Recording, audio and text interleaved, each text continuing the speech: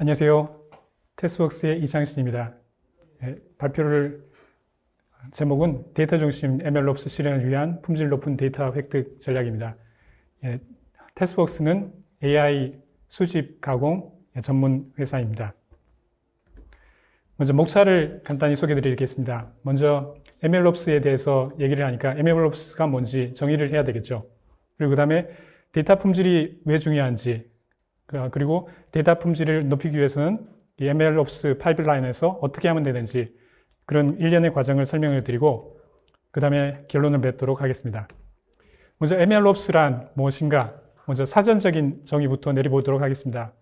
MLOps는 machine learning, 데이터 엔지니어링, 그리고 DevOps 이 일련의 과정들을 한꺼번에 한다. 그리고 그 교차점에 있는 것이 MLOps다. 이것이 사전적인 정의입니다.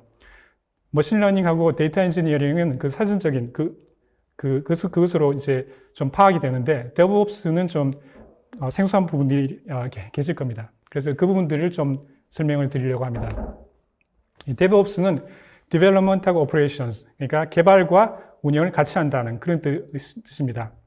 옛날에 전통적인 방법으로 소프트웨어를 개발할 때는 이게 폭포수처럼 waterfall model처럼 사용자 요구를 받아서 feature를 만들고 feature를 만들어서 구현을 하고 그리고 구현을 마친 것을 testing을 하고 배포를 하는 이 일련의 과정들을 순차적으로 이루어지는 것을 어, 많이 썼는데요. 그 옛날에 제가 이제 마이크로소프트 일했을 때 어, Windows나 아니면 어, 지금 Office 같은 경우에는 2, 3년을 주기로 이렇게 한번 release를 했거든요. 예, 지금 어, 현 이런 어떤 소프트웨어 개발 어, 그런 주기로 보면 이게 상상이 안 되는 완전히 그 고래적 얘기 같은데 예, 그렇게 가능했던 이유가 이게 그런 폭포수처럼 워터폴 마들 이었기 때문에 가, 가능했고 그것을 옛날에 쓴 CD나 DVD를 구워서 직접 이렇게 배포를 했기 때문에 가능했습니다. 근데 지금 이것은 어, 소프트웨어 as service라는 개념으로 주기적으로 빨리 고객의 요구에 대응을 하고 또 개발을 하고 테스팅을 하고 배포를 하고 또 그 요구를 수용하는 그런 에자일 모델 방식을 많이 사용을 하기 때문에 이것은 더 이상 아, 사용하지 않고 그래서 이런 DevOps 개발자가 개발만 하는 것이 아니라 운영과 테스팅과 이 모든 것을 같이 한다. 그런 의미로 DevOps를 쓰게 됩니다. 자, 그런 이 DevOps의 개념을 이해하고 나서는 그러면은 어, MLOps를 한다고 그러는데 그러면은 옛날에 우리가 코드 짰던 거 그리고 build 했던 거 그거 그냥 ML 코드를 그냥 갖다 심으면 되지 않느냐 이렇게 생각하실 수도 있을 것 같아요. 그래서 뭐 일반적으로 생각하는 프로젝트 scoping하고 뭐 데이터 수집하고 아, labeling하고 그리고 트레이닝을 해서 배포를 하는 그런 거를 그냥 그게 DevOps 거기다가 집어넣으면 되지 않느냐 그렇게 생각하실 수도 있는데 그렇게 할 수 없는 이유가 있습니다. 이게 원래 이제 MLOps란 그 machine learning에는 이렇게 여러 가지 실험적인 성향이 굉장히 강합니다. Jupyter Notebook 예를 들어서 그 데이터 엔지니어나 아니면은 그 machine learning 엔지니어들은 이 Jupyter Notebook에 한번 실험을 해보고 어떤 POC 개념으로 아, 이게 되나 안, 안 되나 한번 해보자. 그런 식으로 이제 시작을 해서 어, 될 것 같다. 그러면 이제 좀 데이터를 조금 더 모으고 그래서 좀 될 것 같으면 또 더 크게 어, 정식으로 어, 제대로 된 데이터를 마련해서 실제 출시를 해보고 그리고 거기서 또 피드백을 갖고 어, 그래서 이, 이 모델을 해보면 안 되고 그러면 다른 모델을 해보자 이런 식으로 자꾸 여러 가지 실험을 하는 경향이 강합니다. 그리고 또 다른 이유가 이 데이터 자체가 많이 변합니다. 이 실제 생활에 현실에서 데이터의 그런 성향도 굉장히 빠르게 변하기 때문에 그래서 그대로 적용할 수는 없습니다. 그래서 옛날에 있었던 코드만 있는 것이 아니라 어, machine learning에는 모델과 데이터가 있다. 자, 그럼 코드 이 자체도 옛날에 저희가 생각했던 그런 소프트웨어가 아닙니다. 그 안드레이 카파시라는 분, 지금 그 테슬라의 디렉터로 계시죠. 그분이 이제 주창했던 개념 중에 하나가 소프트웨어 1.0과 2.0이 있다. 그럼 소프트웨어 1.0은 뭔가? 옛날에 저희가 생각하는 그런 일반적인 소프트웨어의 개념입니다. 저희가 룰, 그러니까 알고리즘이라고 하죠. 알고리즘으로 된 것을 코드로 구현을 해서 그것이 어떤 데이터가 들어오면은 어떤 답을 내주는 이런 것이 일반적인 제가 생각하는 소프트웨어 개념이라면은 소프트웨어 2.0은 그 답과 데이터를 다 갖다 줍니다. 그 학습 데이터로. 그러면 그 모델이 그것을 가지고 자기가 학습을 해서 어떤 룰을 만드는 그런 것이 소프트웨어 2.0입니다. 이런 개념을 이용을 해서 어, 제프 딘 어, 이분이 이제 어, 말씀하신 건데 제프 딘이 이제 그 TensorFlow 만드신 분이죠. 그 구글의 그 구글 번역기 많이 쓰실 거라고 생각하는데 원래는 이게 50만 라인의 코드였는데 이 소프트웨어 2.0 이렇게 하니까 500라인으로 줄어들었다. 그러니까 완전히 패러다임이 완전히 바뀐 겁니다. 그래서 옛날에는 어, 옛날 패러다임으로는 그런 많은 코드가 필요했는데 그 코드의 양 자체가 줄어들었기 때문에 그럼 나머지는 누가 하느냐? 모델과 데이터입니다. 그래서 이렇게 두 가지 그 approach가 있는데 하나는 모델 중심, 모델 중심으로 개발을 하고 아니면은 데이터 중심을 하거나. 지금까지 이제 모델 중심을 했는데 이게 모델의 성능을 높이기 위해서 알고리즘을 이렇게 여러 가지 다른 걸 쓰거나 예를 들어서 뭐 random forest를 쓰거나 SVM을 쓰거나 뭐 이런 식으로 여러 가지를 해보고 안 그러면은 그 딥러닝을 한다면은 여러 가지 layer를 쌓아보고 아니면 아키텍처를 바꿔보거나 아니면 hyper parameter를 바꿔보거나 이런 식으로 모델 중심의 개발을 지금까지 했다면은 지금 이제 모델은 어느 정도 성능이 나오는 것 같다. 그렇다면 그 다음 우리가 어, 집중을 해야 될 것은 데이터다. 데이터를 어떻게 품질을 높일 것인가. 그것이 이제 그, 어, data centric approach가 되겠습니다. 그래서 이 두 가지가 있는데요. 먼저 데이터의 양과 질이 되겠죠. 자, 그래서 data centric approach. 그러면은 얼마나 많은 양의 데이터가 있어야 되는가, 되는가.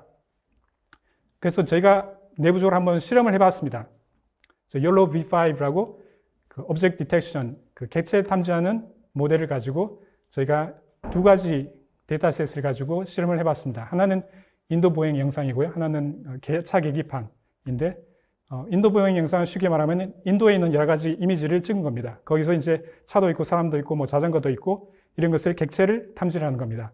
차 계기판은 그 대시보드 안에 있는 뭐 예를 들어서 시트벨트 그 불이 들어오거나 아니면 엔진에 불이 들어오거나 그런 것을 이렇게 탐지하는 어, 그런 어, 그 dataset입니다. 자, 이 두 dataset을 똑같은 모델로 한번 돌려봤습니다. 그랬더니 결과가 어, 뭐 예측을 아마 하셨을 거라고 생각하는데 그 대시보드는 한 200개의 이미지만 있어도 거의 80% 넘는 높은 성능을 보였습니다. 하지만 인도 보행 영상은 보시기에도 벌써 굉장히 복잡하죠. 그리고 여러 가지 어, 다른 뭐 환경 자체가 굉장히 배경도 굉장히 복잡하기 때문에 어, 1000개의 이미지를 갖다 줘도 40% 될까 말까 그런 굉장히 혁격한 차이를 어, 보였습니다. 자, 그래서 이 양은 여러 가지 목적이나 복잡도나 클래스의 수에 따라서 달라진다. 그렇기 때문에 결국은 많은 양의 데이터보다도 적은 좋은 품질의 데이터가 중요하다. 그래서 만약에 여러 가지 경우가 있겠지만 적은 양의 품질이 나쁜 데이터면 당연히 모델 성능도 나빠지겠죠. 그냥 그런 걸 해결하기 위해서 지금까지는 그냥 무조건 좀 데이터를 널려 많, 많게 해보자. 이게 뭐 좋든지 나, 나쁘든지 무조건 한번 많이 수집하면 그래도 뭐 중간은 가겠지. 그게 지금 이제 big data approach고. 근데 이렇게 해보니까 일단은 데이터를 수집하고 가공하는데 굉장히 많은 비용이 들거든요. 그렇기 때문에 그렇다면 우리가 비용도 좀 줄이고 좀 빨리 개발을 하기 위해서는 좋은 품질의 적은 양의 데이터라도 좋은 품질의 데이터가 필요하다. 그런 어떤 consensus가 이루어지게 됐습니다. 그래서 이런 좋은 품질의 데이터를 얻기 위해서 어떻게 하면 될, 거냐, 될 것인가. 그래서 ML pipeline에 여섯 가지 단계별로 저희가 설명을 하려고 합니다. 그래서 scoping, collecting, labeling, training, deploying, monitoring 이런 여섯 개의 단계로 설명을 해드리도록 하겠습니다. 먼저 가장 먼저 scoping, 문제 정의가 필요한데요. 어떤 문제를 해결할 것인가 그것입니다. 그리고 그 다음으로 그 질문을 드리고 싶은 것은 제가 또 많이 저희가 컨설팅을 하면서 받는 질문인데요. 제가 또 제가 드리는 질문이기도 하고 과연 이 문제를 하는데 꼭 AI가 필요한가? 이제 무조건 요새 뭐 AI가 뜬다고 뭐 딥러닝 해서 아 사람들이 지금 핫하다. 그래서 무조건 그냥 AI 한번 써보자. 그런 식으로 이렇게 접근을 하신 분들이 많이 계세요. 그거는 좀 위험하고 그러지 않고 꼭 여기에 딥러닝이나 아니면 AI가 필요하다. 그런 어, 이런 좀 확신이 드셔야 됩니다. 그리고 그것이 정해졌다면은 아 그럼 우리는 진짜 AI가 필요하다. 그러면 이제 어떤 타입의 데이, 데이터를 할 것인가? 그럼 이미지 데이터냐 아니면 비디오, 텍스트, 오디오 아니면 라이다 그런 타입을 정하셔야 되고요. 그 다음에 얼마나 많은 양의 데이터가 필요한지 그리고 클래스는 얼마나 할 건지 그리고 어, 여러 가지 그 그리고 척, 측정 그 성능의 측정은 어, 어떻게 할 것인지 그것을 결정을 하셔야 됩니다. 그 다음에 수집 수집에는 이제 개인정보 보호와 신뢰도, 밸런스, 다양성 여러 가지 고려할 사항이 있습니다. 먼저 법적 그리고 윤리적인 부분에 대해서 말씀을 드리고 싶은데 어, 먼저 이게 EU에서 그 들어보셨을 겁니다. GDPR이라고 개인정보 보호를 위해서 법을 개정해서 이미 시행을 하고 있고 저희도 데이터 3법 2020년도에 개정을 해서 예전에는 이게 써도 될지만 굉장히 좀 혼란스러웠는데 지금은 그래도 어느 정도 정리, 정리가 돼서 그리고 개인정보가 있고 원래 있던 원천 데이터를 가공을 하면은 가명정보 아니면은 익명정보화해서 그것은 어떤 제한적인 용도로 쓸 수 있게 그래서 AI 개발도 좀 마음대로 할 수 있게 그렇게 법 개정이 되어 있습니다. 그래서 다른 나라에서도 어, 중국에서도 작년 그 12, 10월, 10월부터 또 시행을 했고 또 다른 미국이나 다른 나라에서도 이 법 개정을 해서 시행을 하고 있습니다. 그래서 이 먼저 어, 합법적으로 획득을 하는 게 중요합니다. 그래서 저희가 했던 과제들 중에 이제 인도 보행 영상 같은 경우에는 차 번호판 그것을 비식별화하는 작업을 했었고요. 그걸 하기 위해서 간단하게 그냥 블러 처리를 하거나 모자이크 처리를 하는 그런 방법을 쓰기도 했고 아니면 고객의 요구에 따라서 그것을 그냥 랜덤하게 다른 그 숫자로 이제 바꾸기도 하고 그리고 이제 얼굴 사람 얼굴은 이것도 개인 정보가 들어가니까 이것을 보호를 하기 위해서 뭐 블러나 아니면 모자이크 처리 하는 걸로 시작했다가 지금은 이걸 그렇게 하면 이제 어, 그 모델 성능이 안 나오니까 사람 얼굴은 그대로 놔두되 아, 놔두는 게 아니죠. 그 표정과 자세는 그대로 유지를 하되 이것을 다른 사람 얼굴로 그러니까 그 잊지 않는 사람의 얼굴로 이렇게 겐으로 바꾸는 그런 작업을 하고 있습니다. 그리고 그 다음에 많이 거의 모든 어, 개발자들이 이제 부닥친 문제가 밸런스, 데이터의 불균형에 문제가 있습니다. 아, 데이터를 수집했는데 전부 다 낮 데이터다. 밤 데이터는 거의 없다. 이 많이 있습니다. 이런 경우가. 그리고 사람, 사람을 이제 그런 이미지가 필요한데 그러면 우산이 가려 있거나 아니면 안경을 쓰거나 선글라스를 끼거나 아니면 요새는 이제 마스크를 많이 쓰시니까 마스크를 쓰면 사람 얼굴이 잘 안 보이죠. 그런 문제가 있고 그리고 같은 노이즈라도 아, 그 같은 데이터라도 예를 들어서 개 이미지를 수집하고 싶은데 다른 동물 고양이가 같이 있다거나 아까 제가 말씀드린 차 계기판에도 저는 그 아주 좋은 이미지의 데이터를 보여드렸는데 사실 실제로 차 계기판 이미지는 굉장히 이렇게 반사도 심하고 뒤틀리거나 그런 게 심하죠. 그런 것도 다 이제 고려를 하셔야 됩니다. 그래서 이제 나중에 수, 집을 해보면은 예를 들어서 한 클래스의 그 이미지는 엄청나게 많고 다른 클래스는 엄청나게 적고 그래서 이런 그 데이터의 양의 그 밸런스가 맞지 않는 그런 얘기가 많이 있습니다. 그리고 어떤 데이터에 같은 경우는 희소 데이터라고 하는데요. 그러면 원천적으로 데이터 획득이 굉장히 힘든 경우가 많이 있습니다. 의료 데이터, 안 그러면 어떤 사고가 난 그런 그 이미지 같은 경우, 아니면 예를 들어서 로켓을 쏘는 어떤 데이터가 필요하다. 그러면은 로켓 한번 쏘는데 뭐 몇 조 원이 드는데 그런 걸 쉽게 획득할 수 없지 않습니까? 원천적으로 부족한 데이터 문제를 어떻게 해결할 것인가. 그래서 여러 가지 그 기법이 있는데 어, 그 data augmentation이라 해서 데이터 증강을 합니다. 그래서 예를 들어서 super resolution, 그러니까 저해상도의 이미지를 고해상도로 바꿔서 사용하기도 하고 그리고 흑백 이미지를 칼라로 아니면 칼라 이미지를 흑백 이미지로 바꿔서 사용하기도 하고요. 그리고 가상 이미지, 그러니까 게임에 있는 어떤 객체를 현실화 해가지고 꼭 진짜 길거리 사진처럼 변형을 해서 사용하기도 하고요. 그리고 제가 최근에 이제 개발한 것은 도메인 어댑테이션이라고 해서 아까도 말씀드렸듯이 낮 이미지는 많이 있는데 밤 이미지는 많이 없는 이런 현상을 해소하기 위해서 아 그러면 낮의 이미지를 좀 밤의 이미지로 바꿔서 이걸 겐을 이용해서 쓰면 되겠다. 그래서 이렇게 많은 효과를 보고 있습니다. 그래서 실제로 이 수집 사례를 하나 예를 들어보겠습니다. 제가 작년에 했던 과제 중에 수어 영상이라고 있습니다. 이게 사인 랭귀지. 이렇게 농어분들이 하신 분, 이렇게 서로 커뮤니케이션을 할 때 쓰는 사인 랭귀지. 이것을 저희가 수집을 한 적이 있었는데 굉장히 고난이도의 프로젝트였습니다. 그 특히 이제 세 가지의 문제가 있었는데요. 첫 번째는 다양성의 문제였습니다. 저도 몰랐었는데 이 수어에 여러 가지 다양한 방언과 그리고 그 개인차가 존재했습니다. 그래서 이것을 어떻게 해결할 것인가. 그리고 잔상. 그리고 저도 보겠습니다. 이렇게 하면 지금 여러분들이 아마 카메라에서 보이시겠지만 이게 잔상이 남죠. 이게 블로그처럼 이게 실제로 보는 거하고 많이 틀릴 겁니다. 그러면 이게 이 수어를 이렇게 빨리 하다 보면은 이게 굉장히 그 blur가 많이 생기는데 이건 이제 그 AI로 인식하려면 이게 보이지 않, 보이지가 않죠. 그래서 어, 이런 문제가 있었고 그리고 이 두 손으로 하다 보면은 한 손이 가릴 때가 있죠. 그러면 그 진짜 한 그 사인이 무엇인지 아, 모를 때가 있습니다. 그래서 이 세 가지 문제가 있었는데 일단은 첫 번째 다양성의 문제는 제가 crowd sourcing 방식으로 해결을 했었습니다. 제가 보유하고 있는 AI웍스라는 crowd sourcing 플랫폼을 통해서 많은 사용자를 어, 모집을 해서 그 중에서 이제 수어를 할 수 있으신 분들을 제가 따로 스튜디오를 만들어서 그분들이 수어를 함으로써 그리고 그분들이 다 다양한 수어의 방언과 지역과 나이와 성별의 그런 다양성을 어, 갖추도록 제가 어, 했습니다. 그리고 잔상의 문제는 이제 제가 고속 카메라를 이용해서 그 블러가 없도록 했고요.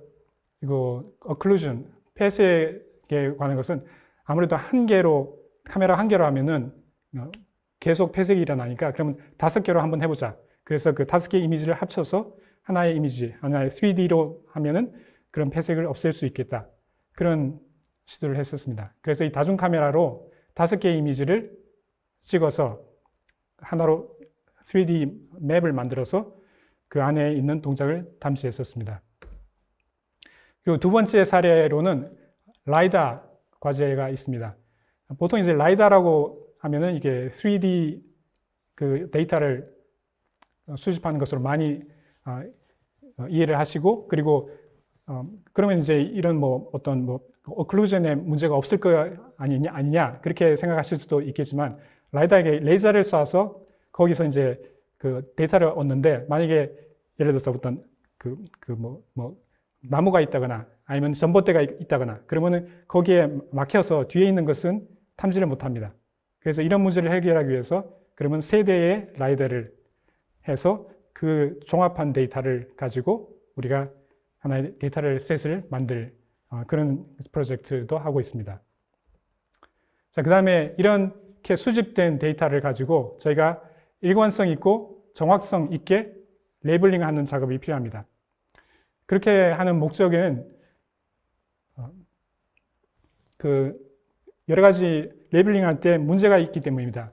프로젝트의 목적에 따라서 예를 들어서 해양 쓰레기를 태깅을 하는데 그 큰 덩어리 하나를 그냥 해양 쓰레기라고 할 건지 아니면 이 하나하나 객체 하나하나를 일일이 해서 할 건지 안 그러면 예를 들어서 인도 보행 영상 같은 경우에는 차가 있는데 이렇게 삐죽이 나온 거 이걸 태깅을 할지 말지 안 그러면은 차가 있는데 가운데에 전부터가 있습니다. 그러면 이거를 어떻게 태깅을 할지, 이거를 같이 이렇게 태깅을 할지 아니면 따로따로 이렇게 태깅을 해야 될지 이렇게 좀 난감할 때가 있습니다. 그리고 주관적인 판단을 해야 될 경우가 있습니다. 사람 얼굴을 보고 이게 기쁜 표정인지 아니면 짜증나는 건지 분노하는 건지 어, 판단을 하기가 힘들 때가 있죠. 그리고 어노테이션 범위도 이렇게 여러 가지 사람들이 많이 있고 차도 많이 있는데 그 많은 그 객체들이 일일이 다 태깅을 해야 되는지 아니면 가까운 것만 태깅을 하면 되는지 이걸 좀 결정을 해야 되고 또 개인차도 있을 수 있기 때문에 이 문제를 해결하는 것이 필요했습니다. 그래서, 그래서 이걸 세 개를, 어, 세 가지 방법으로 제가 해결을 하고 있습니다. 하나는 그 좋은 프로세스를 제가 도입을 해서 실행을 하고 있고, 그리고 좋은 툴, 그리고 사람, 무엇보다도 사람이죠. 사람을 잘 교육시키자. 그래서 프로세스는 제가 네 가지 프로세스가 있습니다. auto labeling, manual labeling, review, dataset review. 먼저 좋은 tool이 있어야 되겠다. 그래서 저희가 다양하게 사전 훈련된 모델로 어, 그 레, labeling 그 자체를 자동화를 하고 있습니다. 그 고속도로 CCTV 아니면 피부 어, 질병 진단 아니면 스마트팜 공항 검색 영상이든지 인도병 영상이든지 이것을 미리 labeling 된 데이터를 가지고 모델을 훈련시켜서 먼저 tagging을 하건 다음에 그 다음에 tagging된 그 데이터 안에 다시 수정을 하는 사람이 human in the loop 그런 방식으로 하고 있습니다. 이렇게 함으로써 저희가 약 50%의 그 향상을 보이고 있습니다. 생산성의 향상을 50% 이상 보이고 있습니다.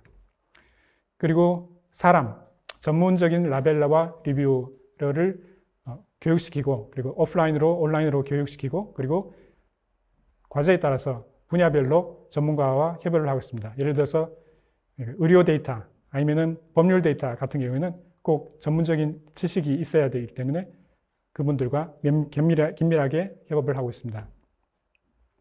그리고 마지막 단계로 저희가 그 dataset 전체의 품질을 검증을 하고 있습니다. 저희가 자체 개발한 tool로 data validation tool로 그 안에 있던 아, tagging이 제대로 됐는지 안 됐는지 오tagging이 있는지 미tagging이 있는지 과tagging이 있는지 그런 것을 다른 검수자가 이제 검수를 하고 그런 것을 통계로 볼 수 있는 tool을 개발해서 지금 쓰고 있습니다.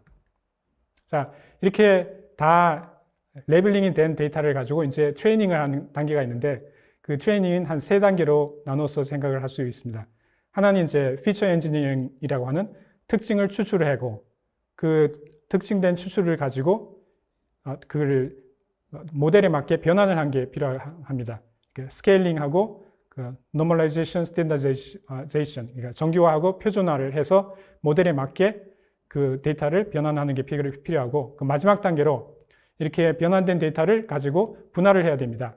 train data가 있어야 되고 validation data가 있어야 되고 그리고 test data 그리고 여기서 중요한 것은 이 세 가지 데이터가 다 특징과 분포가 똑같아야 됩니다. 만약에 분할을 먼저 하고 이런 feature engineering이나 이게 feature transformation을 나중에 하면은 이게 영 의미 없는 데이터가 됩니다.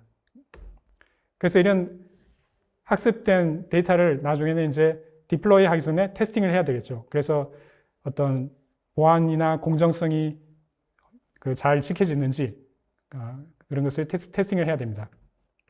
자, 그런 것을 하기 위해서는 다양한 데이터가 있어야 된다. 그래도 무엇보다도 다양한 데이터가 있어야 되겠다. 그 같은 어떤 동물 사진이라도 다양한 앵글이 있고 그리고 배경도 다르게 뭐 낮, 밤 아까 저 말씀드렸듯이 그리고 예를 들어서 사인이 있다. 그런 경우에도 여러 가지 노이즈가 있을 수 있거든요. 일부러 노이즈를 없애지 마시고 그대로 자연 상태로 놔두어서 그것을 모델이 학습할 수 있게 하는 그런 것이 필요하고요. 그리고 요새 이제 AI에도 해킹이 있습니다. 그리고 굉장히 오히려 굉장히 취약할 수 있는데요. 예를 들어서 바나나를 인식하는 모델이 있는데 바나나 옆에 어떤 이상한 뭐 객체가 있다. 그러면 이 바나나를 갑자기 뭐 다른 엉뚱한 객체로 토스터기로 인식을 하거나 그런 문제가 있을 수 있습니다. 자, 이렇게 잘 테스팅이 돼서 배포를 했다. 그러면 끝나는 것이 아니라 또 모니터링을 해야 됩니다. 모니터링을 하는 과정에 특히 이제 두 가지를 주의 깊게 어, 모니터링 하셔야 되는데 concept drift와, drift와 data drift가 있습니다. concept drift는 말의 의미가 그 개념이 좀 변하는 현상입니다. 지금 저희가 쓰고 있는 데이터란 말도 옛날에는 데이터베이스의 데이터만 의미를 했는데 지금 이제 이미지나 텍스트 데이터도 데이터라고 하죠. 원래 이제 텍스트 데이터는 이제 자연어 처리 하시는 분들은 아시겠지만 이건 옛날에 corpus란 말을 썼습니다. 근데 지금은 전부 다 이제 그냥 텍스트 데이터라고 하죠. 그리고 요새는 이제 지금은 이제 뭐 헬스 클럽, 헬스장 이러면은 좀 아재 소리를 듣는 것 같더라고요. 그래서 요새는 이제 헬스 클럽보다는 뭐 gym, gym이란 말을 예 그, 그런 그런 말을 쓰시는 것 같더라고요. 그래서 이게 데이터는 그대로 있는데 이 말의 의미 자체가 바뀌어 가지고 이게 완전히 모델의 성능이 달라질 수 있다. 그래서 이게 갑자기 이렇게 달라질 수도 있고 그 의미가 안 그러면 천천히 점진적으로 이렇게 달라질 수도 있고 아니면 주기적으로 달라질 수도 있습니다. 자 그리고 data drift는 제가 가장 많이 볼 수 있는 건데요. 쉽게 말씀드리면은 훈련할 때와 그리고 실제 할 때의 데이터의 분포가 틀려지는 겁니다. 자 이렇게 되면은 당연히 모델의 성능이 나빠지겠죠. 그래서 이런 것을 model decay라고 하는데 그러면 이 모델 디케이를 막기 위해서 지속적으로 모니터링하고 업데이팅을 하는 게 필요합니다. 그래서 다시 수집하고 가공하고 학습하고 테스트하고 배포하고 그래서 이게 모델 디케이가 성능자가 일어날 것 같으면 다시 학습시켜서 다시 이렇게 성능을 높이는 그, 그런 작업을 진행을 해야 됩니다. 그래서 예전에 소프트웨어 1.0에서 사용자 요구사항을 피처, 기능으로 바꿨다면 지금은 사용자 요구사항을 data needs, data type, 양, 클래스, 분포 등으로 바꾸는 이런 작업을 해야 되는 것이 소프트웨어 2.0입니다. 그래서 맨 처음에는 예를 들어서 차라는 큰 캐테고리를 시작했다가 나중에 어, 우리가 보니까 버스가 더 필요하다. 그럼 버스와 차, 일반 차라 나누고 아니면 버스에서도 일반 그냥 가는 차, 가는, 가는 버스가 있고 아니면 전복된 버스의 그런 현상도 있을 수 있고 여러 가지 다양한 현상들이 있을 수 있기 때문에 이것을 주기적으로 계속 모니터링 하면서 새로운 데이터를 수집하고 모델을 업데이트하는 그런 것이 필요한데 결국은 모델, 모델도 데이터도 변화화되고 계속 이런 iteration을 통해서 이게 data flywheel을 통해서 계속 업데이트를 해야 된다. 그래서 여기서 중요한 것이 데이터의 계보가 있어야 된다. data lineage라는 말을 쓰는데요. data lineage 아니면 data provenance. 그래서 이것이 있어야 되는 이유가 일단은 어떤, 문제가 일어났을 때 디버깅과 재현하기 위해서 필요하기도 하고요. 그리고 나중에는 이것이 법적인 책임을 물 때, 어, 뭐 모델이 어떤 문제가 있어졌으면 법적인 책임까지 물어야 되기 때문에 이런 데이터의 계보가 있어야 된다. 그래서 툴 같은 경우에도 이제 데이터 versioning, 옛날에 코드 versioning은 이제 익숙하실 텐데 요새는 데이터 versioning까지 해야 된다. 이거 DVC 아니면은 Git 어, 예, 많이 쓰시죠? Git에서 어, LFS, Large File Storage 이런 데이터 versioning까지 필요합니다. 그래서 옛날에 이제 MLOps는 머신러닝, DataOps, DevOps 이런 세 개가 유기적으로 움직여야 되는데 그 가운데 한가운데 DataOps, 데이터가 중심이 된다. 그래서 AT20 아마 많이 들어보셨을 건데 AI 개발의 80%를 차지하는 것이 데이터 전처리 과정입니다. 이 80%이 차지하는 전처리 과정은 이 비용 자체가 막대한 비용이 들고 그리고 이거 품질을 어, 보장하기 힘들다. 그렇기 때문에 좀 전문적인 업체 그리고 능력이 있는 그런 업체에 맡길 수 있는 것이 빠르게 성공적으로 AI를 개발할 수 있는 관건이 된다고 말씀드릴 수 있겠습니다. 자, 정리를 하자면은 좋은 데이터라는 합법적이고 윤리적이고 비편향, 밸런스되고 일관성이 있고 정확성이 있는 데이터이고 그런 것을 하기 위해서는 좋은 프로세스를 가지고 좋은 툴을 가지고 좋은 사람을 가지고 계속 반복적인 일련의 어, 개발을 해야 된다. 그 중심에는 데이터가 있다. 그래서 이 데이터를 좋은 데이터를 확보한 사람이 세상을 차지한다. 그런 것을 마지막으로 말씀드릴 수 있겠습니다. 데이터 테스트웍스는 AI 수집 개발 전문 업체입니다. 자세한 내용은 저희 홈페이지와 블로그를 참조하시기 바랍니다. 예, 감사합니다.